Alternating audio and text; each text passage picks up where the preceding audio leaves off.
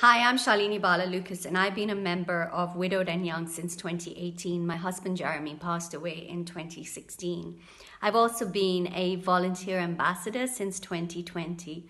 I am so passionate about this charity because it really helped me when I just didn't think I could go on.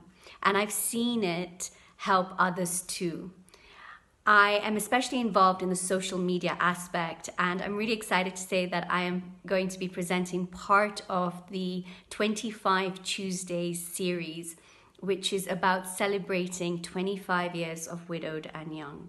To anybody who hasn't yet reached out, who feels that they're really alone, please, please do contact Widowed and Young. You don't need to do this on your own. There are so many of us who understand what you're going through. Thanks so much for listening and do tune in to the Instagram Live on Tuesdays. Take care.